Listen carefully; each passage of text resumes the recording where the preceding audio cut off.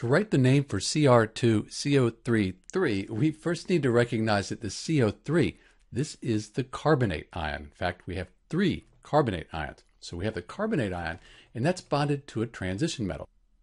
So we have the chromium, this is a metal, a transition metal, and some nonmetals. This is an ionic compound. We're going to think about charge when we write the name.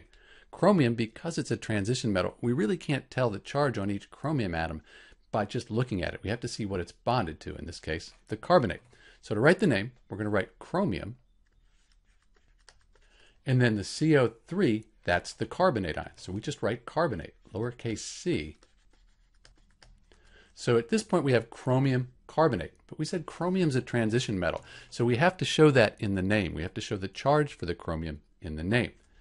Carbonate always has a 2 minus ionic charge. That's the whole carbonate. And since we have three of them, 3 times 2 minus, that's 6 minus. For the chromium to be 6 plus and everything to add up to 0, give us a net charge of 0, 2 times 3 plus.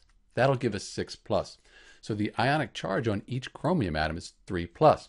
And then in the name, we write chromium 3, Roman numeral, in parentheses, to show that the chromium atom, each one, has an ionic charge of 3 plus.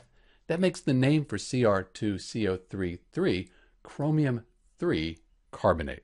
This is Dr. B, and thanks for watching.